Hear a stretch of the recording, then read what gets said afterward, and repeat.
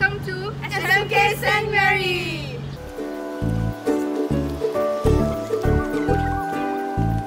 Thank you.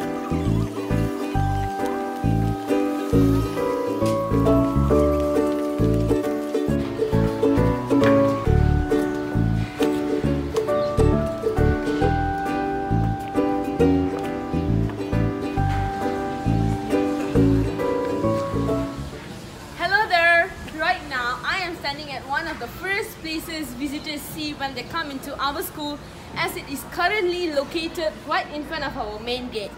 So, as you can see, this place is so gloomy and it doesn't give a good vibe for our as a first impression to our visitors.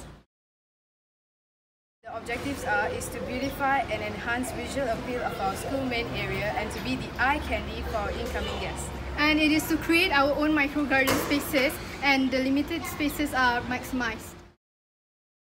Visual design for our vertical garden is going to be green in color. We are going to be using bright green color because it will give a more refreshing and cooling looks. The design at the side will be a giraffe-like structure. The giraffe represent our school mascot and it will be filled with yellow color plant. We'll be also inserting our school slogan's wording which is I serve. The wordings will be purple in color.